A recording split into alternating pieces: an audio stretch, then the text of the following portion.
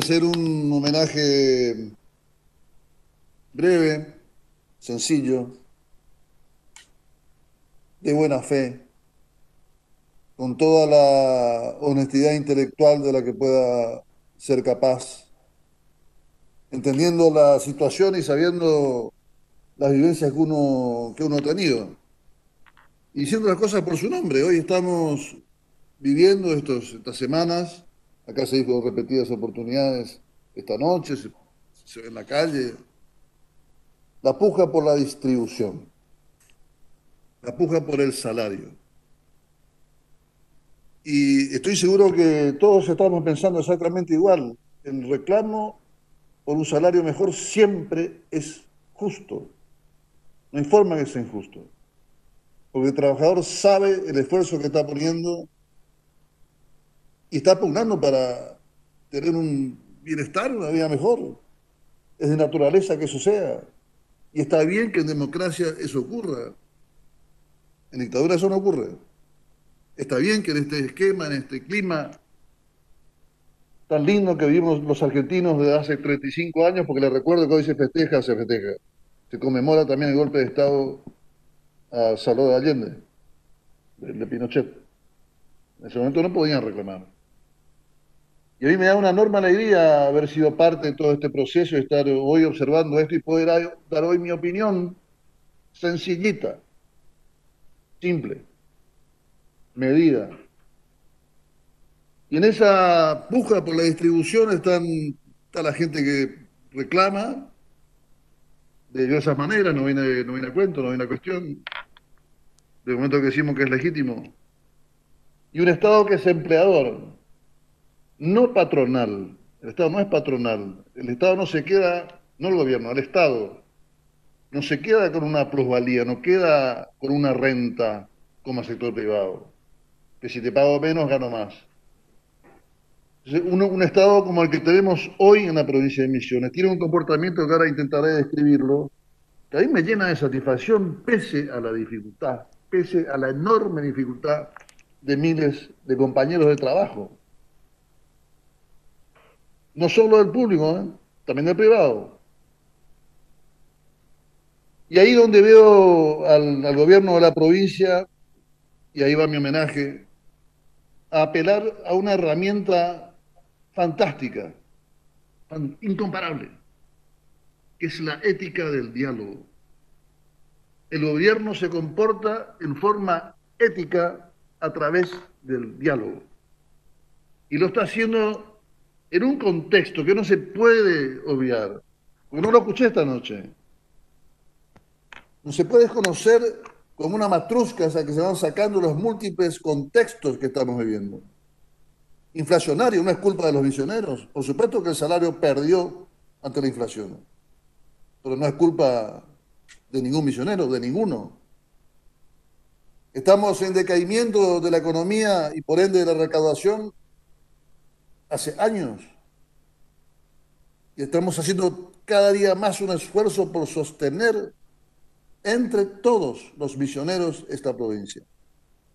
No podemos emitir, podemos emitir letras, podemos emitir deuda, pero no lo estamos haciendo ni lo haremos, porque la experiencia de la emisión de deuda, las veces que se hizo a nivel nacional, a nivel provincial, han sido catastróficas. Entonces es una especie de misión donde no vamos a caer, porque desordena la estructura económica, social de una comunidad. Entonces, a ese contexto se le agrega, para colmo de males, una pandemia. Una pandemia. Con un mago hubiese podido adivinar que eso iba a ocurrir. Cuando parecía que empezábamos otra vez a calentar motores, ¡paf! Aparece el COVID-19 y nos pega un masazo a todos. A todos quiere decir a todo el planeta. Y Misiones está dentro de ese contexto. Y la recaudación, usted, usted me la enseñó. Usted que fue tan generoso de hacerme gobernador, me enseñó también tips de cómo gobernar. A la siesta uno mira cuánto entró en rentas Y está viendo a quién hay que pagar día a día. ¿Cómo fue el goteo de la copa? ¿Cómo entró renta? ¿Cómo, cómo recaudamos? Hoy que venció. Es día a día la administración del Estado. Y hay que hacerlo en forma responsable. Los dineros públicos hay que manejarlos de forma responsable, pero también con sensibilidad, también con inteligencia. Y este gobierno está haciendo con los sectores que están en, reclamo, un diálogo responsable, un diálogo respetuoso, un diálogo de puertas abiertas. No siempre se obtiene lo que se quiere, por supuesto, pero en este contexto hay que gobernar sin perder de vista que además hay que mirar a toda la familia misionera, mirar en forma holística, mirar todo el horizonte es infinito, es un redondel que nunca se termina y están los tareferos, están los tabacaleros, está el sector de la producción, hay que atender, está, está el, sector, sector comercial que se lo atiende y cuesta mucho dinero con los, con los ahora para, para, para subsidiar. Todo ese esquema de responsabilidad, porque se habla de ética del diálogo, no es solamente charlar, pues yo es una charla, es ser, mantener esa, esa tutoría, esa guía del buen trato, de no dejar nadie parar bajo la lluvia y atenderlos a todos. Yo lo veo a los ministros, lo voy a ser sincero, lo veo a los ministros con un esfuerzo descomunal y al gobernador ni que hablar. Este, está haciendo lo máximo que se puede en las circunstancias en las que estamos haciendo. Y no quiero entrar a escarbar. Hoy, hoy, hoy mandé un tuit de, este, sobre Buenos Aires, el puerto de Buenos Aires solamente trae amargura, decía Artigas. Este, además, los comportamientos de los últimos 200 años que también hay que ponerlo en situación. Usted lo ha vivido. El drenaje de recursos de las provincias al país central, al país núcleo. Y Misión ha sido tan responsable con los recursos públicos que voy a contar dos datos que seguramente lo saben, no debe ser ninguna novedad, pero es bueno ponerlo, ponerlo en, el, en, la, en la pintura. Misiones es la única provincia, no es una de las pocas, es la única provincia que durante 16 años pagó los salarios antes que sea la fecha que hay que pagar, que es del 1 al 5. Misiones siempre durante 16 años, mes por mes, pagó el último día hábil del mes. Si no venía al FED, salía a la provincia a responder. Si no venía al FONIC, salía a la provincia a responder. Y lo hace y lo seguirá haciendo. Pero porque tenemos las cuentas en orden. Desordenar las cuentas no es un chiste, se paga carísimo.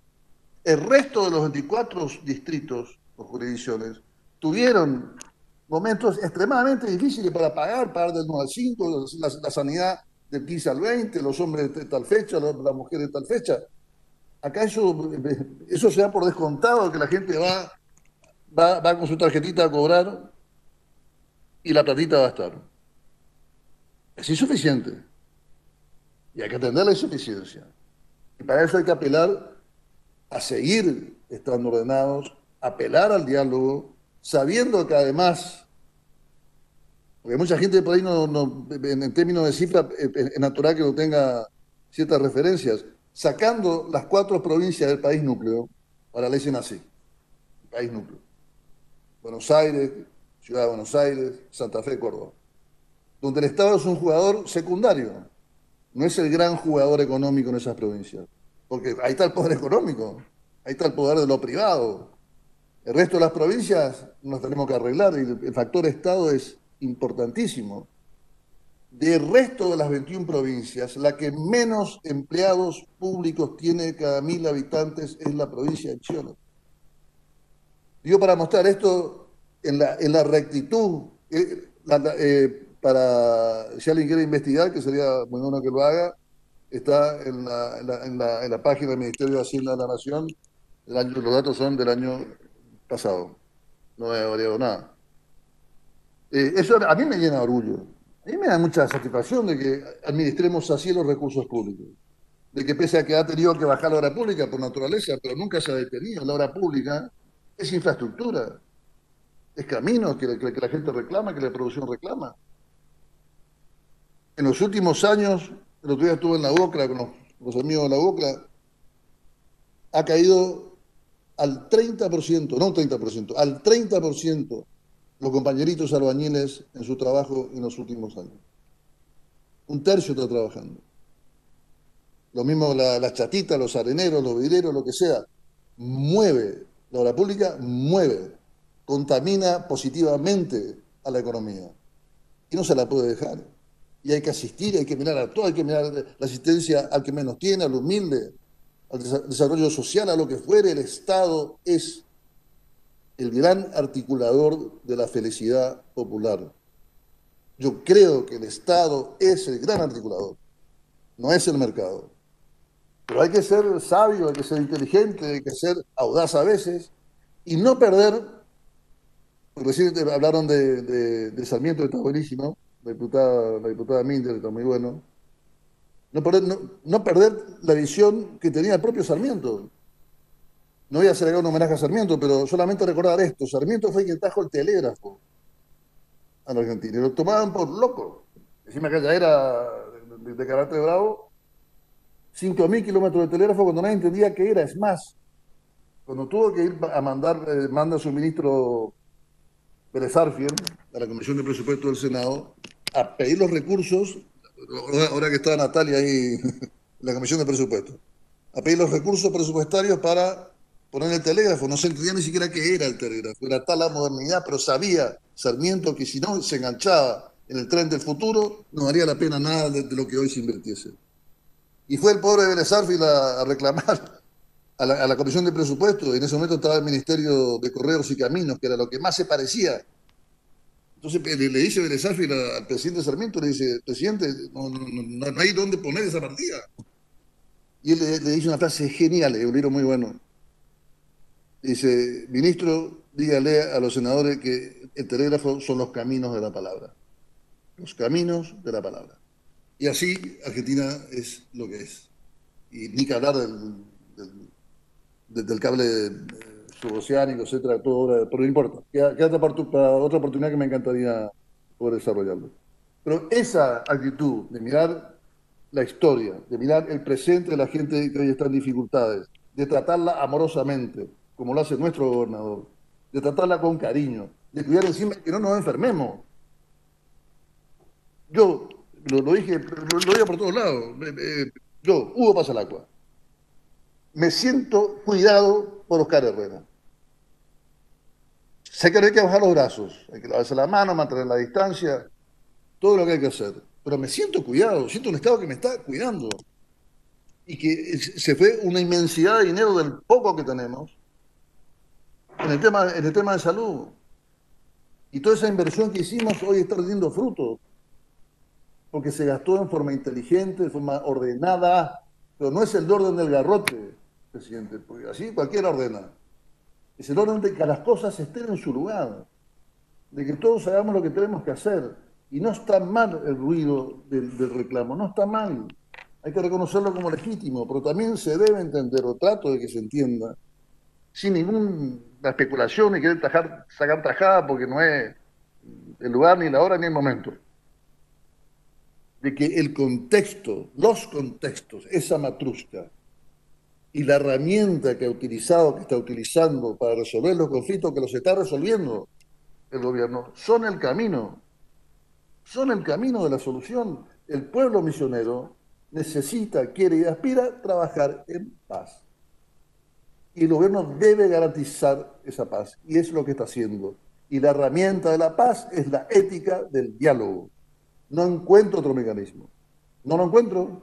Hay un solo momento, paradójicamente, el diálogo se apaga, donde solamente habla uno, que es el día de las elecciones. Ese día no se habla, ese día habla el pueblo, hay una sola voz. Y después te empuja, te empodera, y es el deber, es el mandato de ese diálogo ese monólogo popular que tenemos que interpretar después las cosas que hay que ir haciendo a lo largo de un gobierno, sobre todo en dificultades. En síntesis, presidente, yo quería solamente hacer un homenaje a lo que está haciendo el gobierno, que lo está haciendo muy bien, al empeño que pone no solamente el gobernador y el vice, sino todo su equipo. Las dificultades son muchas, la, la gente no la está pasando bien, pero necesito dejar sobre el final un mensaje esperanzador, pero no porque una esperanza naif, porque sí, sino porque estoy convencido que la forma, la forma de este trato respetuoso, de, diálogo, de buscar soluciones, a veces parciales, bueno, dentro de un tiempo volveremos a completarla, y, hay que ir yendo, hay que ir yendo, yendo hacia adelante como se está yendo. Las soluciones están apareciendo, están en este tremendo marco, están apareciendo sin rifar la estabilidad fiscal. Que rifarla es un sepulcro. Rifar las cuentas públicas es un sepulcro. Y quien está ahí con la virome tiene esa responsabilidad y solo él. Presidente, mi tributo al gobierno, a los misioneros, a quienes necesitan, es al diálogo, al diálogo y al diálogo. Muchas gracias.